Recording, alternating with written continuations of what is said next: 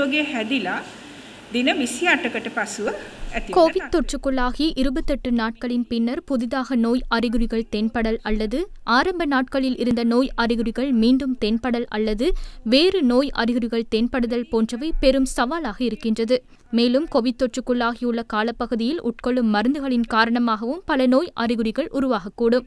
இதன்போது அதிகளவில் ஏற்படும் அறிகுறிகள் பாதகமானவைகள் அல்ல. இவ்வாறு பாதிக்கப்பட்ட அதிகமான நோயாளர்களுக்கு உடல் உள ரீதியான பாதிப்புகள் ஏற்படுகின்றன.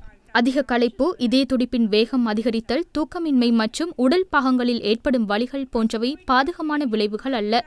அத்துடன் வீசிங் மூச்சு திணறல் போன்றவை ஓரளவு பாதிப்பை ஏற்படுத்தக்கூடிய நோய் அறிகுறிகள் என்பதோடு மூச்சு திணறலுடன் இரத்த நாடிகளில் இரத்த உறைவு உருவாகுதல் அல்லது மாரடைப்பு போன்றவை மிகவும் பாதகமான நோய் அறிகுறிகள் ஆகும். தற்போது கொரோனா தொற்றாளர்களின் எண்ணிக்கை அதிகரித்து வருகின்றது. எப்போதும் கூறுவது போல் சுகாதார விதிமுறைகளை முறையாக பின்பற்றுங்கள் தடுப்பூசியையும் பெற்றுக் கொள்ளுங்கள். கோவிட் தொற்றிலிருந்து முடிந்தவரையில் பாதுகாத்துக் கொள்ளுங்கள் நாட்டில் தற்போது காணப்படும் கோவிட் நிலைமையின்படி நான்காவது அலைக்கு முகம் கொடுக்க வேண்டிய நிலை ஏற்படலாம்.